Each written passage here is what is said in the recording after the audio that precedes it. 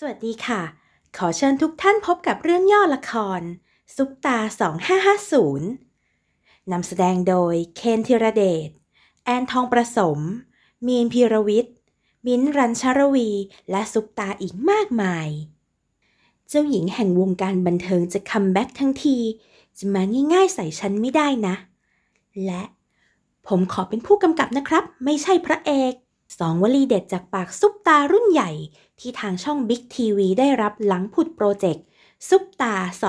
2550 เพื่อดึงดาราซุปตาของช่องในยุคทองปี 2550 ให้หวนกลับคืนจออีกครั้ง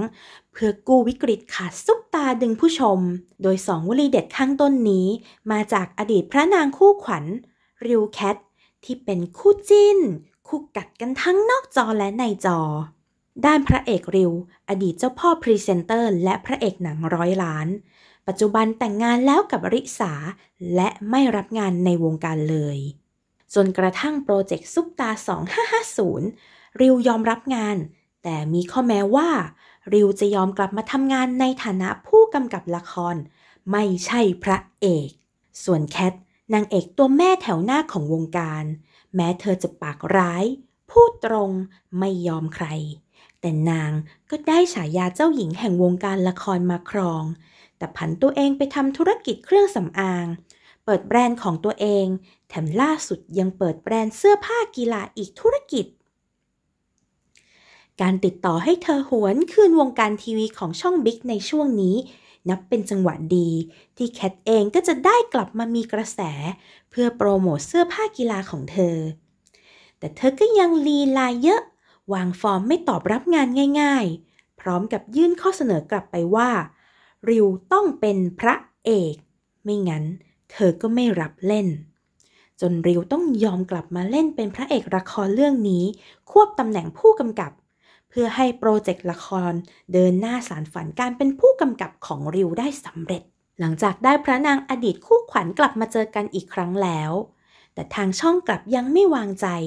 ขอส่งทาโร่ สตาร์สุดฮอตของ พ.ศ. นี้ของช่อง มาลงละครเรื่องนี้ด้วย ทาโร่เป็นเด็กรุ่นใหม่ที่ใช้สื่อโซเชียลเก่งและใช้เป็น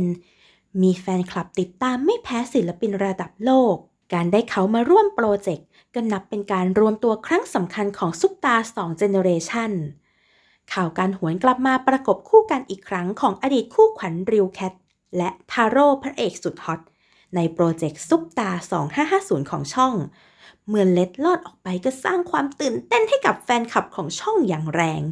จนวันถแถลงข่าวซีรีส์มีความฮือฮาจนเกิดไวรัลมากมาย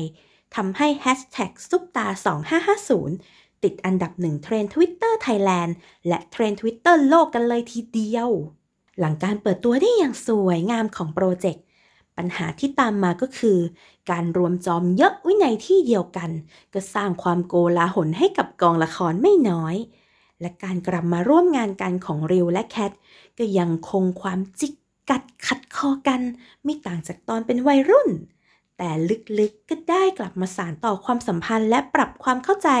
ในข้อผิดพลาดที่ผ่านมา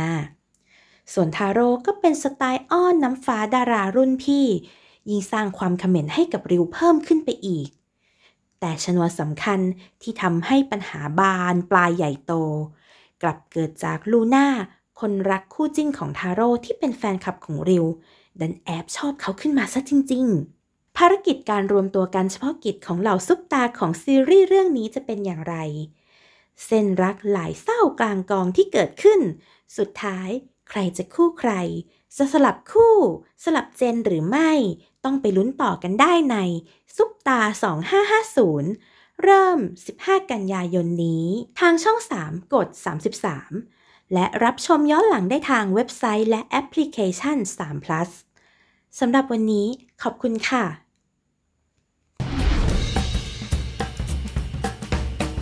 เจ้าหญิงแห่งวงการบันเทิงจะคัมแบ็กทั้งทีจะมาง่ายๆใส่ฉันไม่ได้นะ ถ้าอยากจะให้ฉันเล่นก็ต้องโทรมาง้อฉันเอง ผมขอเป็นผู้กำกับนะครับ ไม่ใช่พระเอก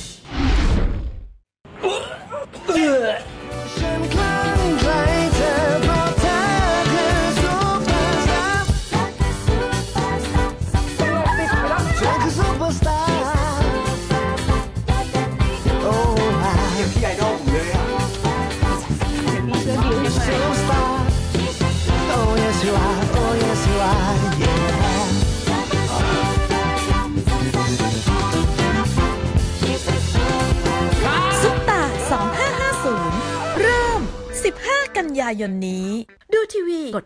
33 ดูมือถือกด3 plus